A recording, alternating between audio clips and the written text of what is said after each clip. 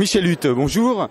Euh, le cri du colibri, alors en quoi ça consiste le cri du colibri? Est-ce que c'est un cri, euh, un, cri d'alarme?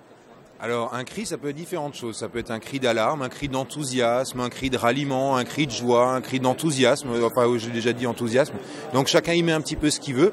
En tout cas, euh, les colibris sont des éléments actifs de la société civile qui invitent les concitoyens à se poser des questions sur les modes de vie au quotidien et sur les choix de société qu'on fait, nous, dans nos actes de consommation, de déplacement, d'habitat, etc. Alors, euh, qui sont exactement les colibris? Parce que l'oiseau, on ne le trouve pas partout dans le monde, mais euh, les oiseaux que vous êtes, vous, on les trouve, on les trouve. Alors, dites-nous. Alors les colibris sont des simples citoyens comme vous et moi et euh, l'image du colibri repose sur une légende amérindienne qui raconte qu'un jour dans une belle forêt luxuriante un incendie a éclaté et tous les animaux se sont euh, carapatés euh, en vitesse sauf le petit colibri qui lui allait chercher une petite goutte d'eau pour la mettre sur l'incendie. Et ce qui a fait dire au roi des animaux, le tatou, que le colibri était un inconscient, puisqu'avec sa petite goutte d'eau, il était absolument hors de question d'éteindre l'incendie. Ce à quoi le colibri a répondu oui, mais moi, monsieur le tatou, moi, moi je fais ma part. Donc c'est ça l'idée en fait, c'est qu'individuellement personne ne va changer le monde. En revanche, à 7 milliards et demi, si on se met tous à changer, ça peut avoir un petit peu d'impact quand même.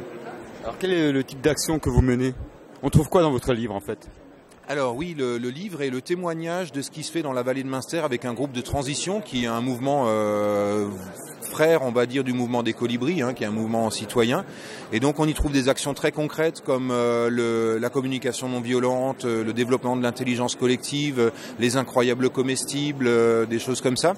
Et donc les personnages racontent sous forme de témoignage ce qu'on peut faire pour changer son environnement direct, déjà pour se changer soi, parce que si nous on ne change pas, notre environnement ne changera pas. Et donc euh, ils confrontent leurs expériences et ils recherchent ensemble des nouveaux modes de fonctionnement dans un contexte dégradé. Donc c'est l'intrigue du livre, c'est que la société euh, commence à dysfonctionner euh, gravement. Ce qu'on voit d'ailleurs actuellement, mais là c'est déjà un petit peu, on va dire, amplifié dans le livre pour des questions narratives. Et donc, par leur, leur choix, par leurs décisions et leur organisation, bah, ils arrivent à faire face et à trouver le moyen de vivre sereinement dans un monde qui va pas très bien. Vous avez parlé d'incroyables comestibles. C'est quoi ça? Ah, alors c'est un mouvement qui se développe euh, dans le monde entier actuellement depuis l'Angleterre. Ça a démarré en 2008. C'est parti de deux mères de famille qui vivaient dans une ville industrielle sinistrée et qui se sont euh, insurgées, on peut dire, devant euh, la difficulté de se procurer des produits frais et des légumes sains. Et donc elles ont pris une décision toute simple, qui est vraiment la décision citoyenne par excellence. Elles ont supprimé la petite clôture de la petite plate-bande qui se trouvait devant leur maison.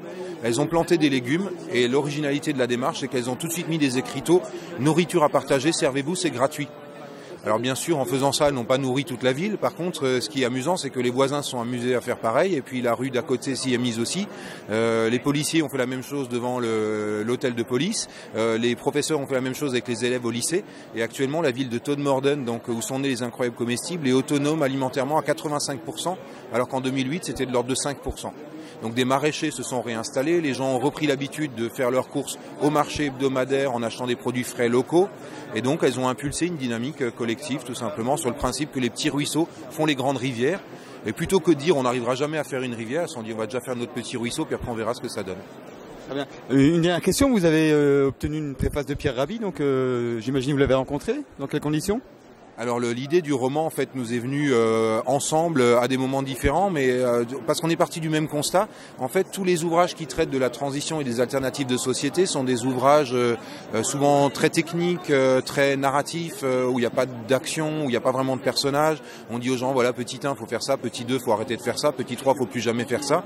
Et ça, ça prend d'une part les gens un peu à rebrousse-poil, et surtout ça c'est des livres qui ne se qui ne se découvrent, qui s'échangent que sur des foires éco-bio, dans des librairies spécialisées.